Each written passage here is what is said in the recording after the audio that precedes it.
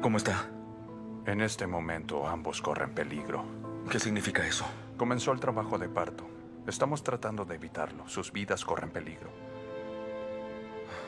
Lo importante es detener el trabajo de parto, pero si no lo logramos, podríamos perderlos a ambos. Doctor, por favor, que no les pase nada ni a mi esposa ni a mi hijo. Haga todo lo posible.